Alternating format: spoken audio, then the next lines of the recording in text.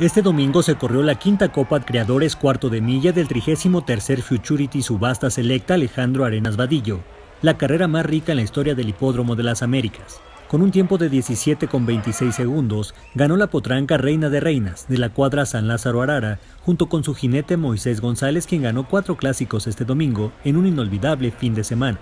La quinta Copa Creadores para ejemplares cuarto de milla tuvo una bolsa total de 5.91 millones de pesos, la mayor en la historia del hipódromo.